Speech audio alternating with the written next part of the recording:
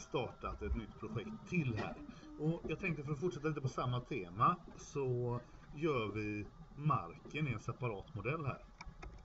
Så, den här, den tänkte jag spara på i min mapp här nu som heter Navis och jag kallar den för markmodell. Så, i markmodellen så länkar jag också in mitt, min husmodell. Så vi går till insert och väljer link Revit.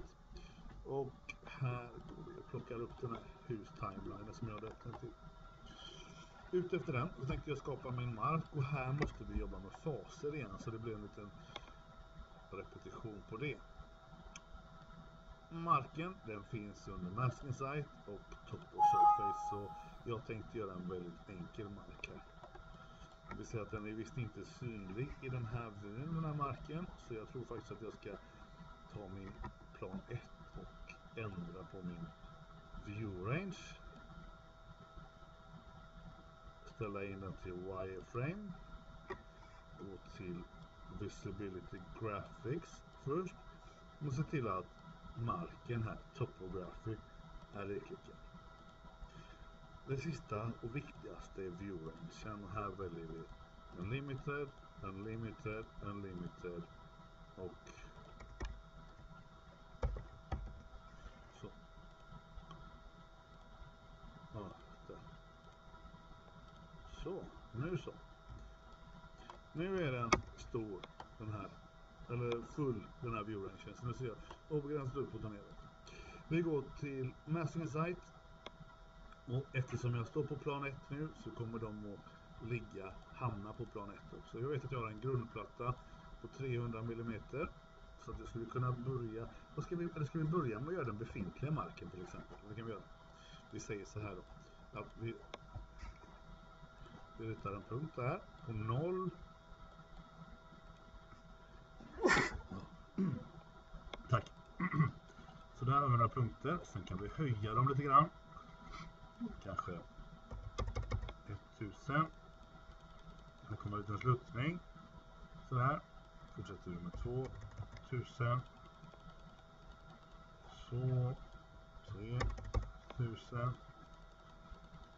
Så vi kan titta på det 3D. Hur det ser ut. Ja, det kommer inte gå att bygga huset. Här kommer vi behöva schakta då. Men vi säger att vi vill ha det så här. Vi ska skapa en till mark. Så vi kopierar den här. Väljer copy, paste, align to same place. Eller safety levels, absolut. Vi väljer edit surface. Och här tänkte jag editera den. Det som är absolut viktigast är att jag lägger punkter runt omkring huset på en lagom höjd. Och jag kan utgå från den här punkten. Jag skriver minus 300 mm på den. Jag går till wireframe för att se det lite lättare. Där har vi min nya punkt. Jag tänkte kopiera den här runt huset.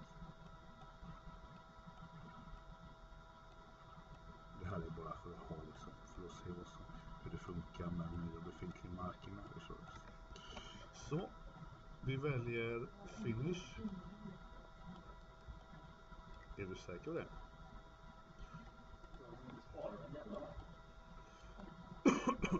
Vet?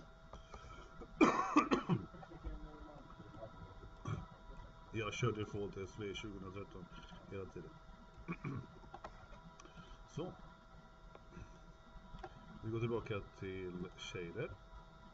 Den här marken. I den nya marken så vi lägger name ny. Och den andra befintlig. Vi kan säga att den befintliga skapade befintlig och den nya vi skapade nu Det blir bra. Den här modellen ska jag länka in i Navisworks också. Så vi går till Navisworks. Vi väljer Append. Markmodell och okej. Okay. Här kommer vi få vår modell med två marker. Då.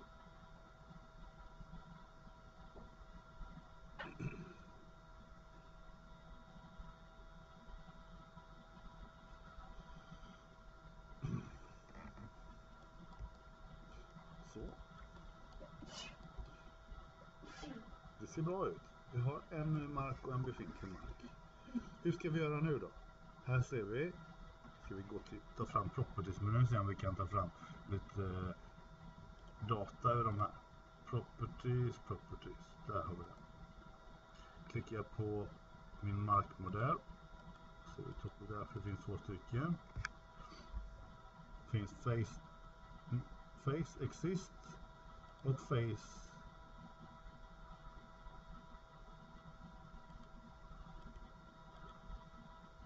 material. Material grass och material exist finns det. Ja, vi har i alla fall en, skill en skillnad på dem. Jag tänkte lägga in dem här i min timeline också. Och jag kan stänga den här för jag vet ju. Innan dess så kastar jag in dem här också så att jag har dem i ett sätt. Och här kallar jag den för för mark till exempel. Och den andra blir ny mm mark. Så.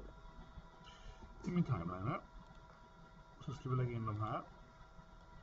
Och eh, vi går till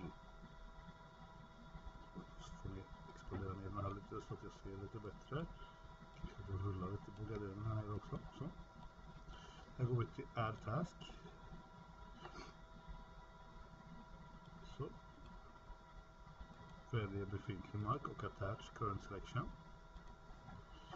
Vad ska den här vara för typ då? Kan någon säga? Mm, det är helt rätt. Demolish. När ska den börja rivas? Typ innan vi börjar med allt annat va? Så vi ser att vi har redan gjort det. Den ligger i 12 oktober till 20 oktober. Så. Okej. Okay. Nu tar vi nästa mark. Ny mark. Vi väljer Absolut. Den ska ju kanske börja... Ska den börja? Det står ju 10... Vad fan fick jag inte med den här? 10... 12... Ja. Eh, 10, 25 kanske. Till... Något sånt. Den ska vara construct.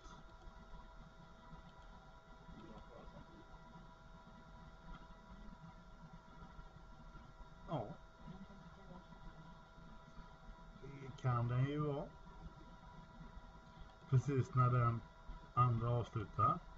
Så. Mm, varför inte?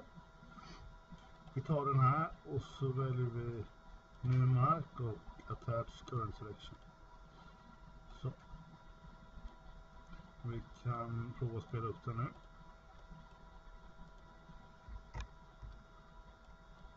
Där ser vi en mark. Oj, där kom den andra. Och byttes ut helt enkelt. Det var inte så effektfullt men eh, ja, ändå.